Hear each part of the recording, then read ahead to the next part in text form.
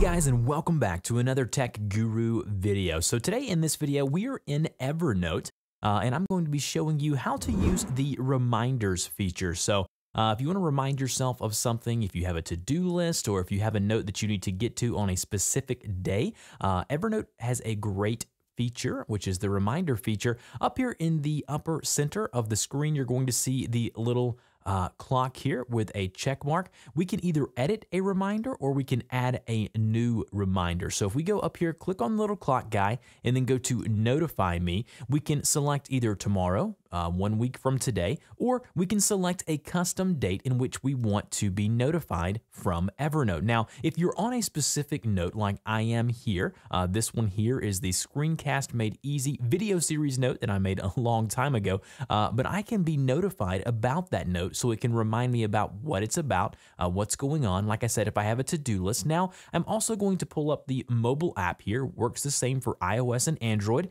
Uh, if you see here in the center of the screen, you're going to see that same little alarm clock icon. Click on that right there. You're able to type in the reminder just like you would on a computer or a desktop app. And then you go ahead and either hit save or click on the calendar and scroll through here and select the date that you want to be reminded and then click save and you are good to go. Now, if you have your Evernote notebook synced up across all platforms, you'll be able to get all of those reminders across all of your different devices. And then if you want to go in and edit that reminder, you just select the specific note that you have reminded yourself about, click on the clock icon again, and you can either mark it as done before the due date, clear the reminder like so, uh, or you can uh, do some other stuff there as well. Hopefully you liked this video. If you did, go ahead and share this video with your friends and family. Don't forget to subscribe for more great content just like this. And as always, guys, thank you so much for watching my videos, and I will see you guys in the next one.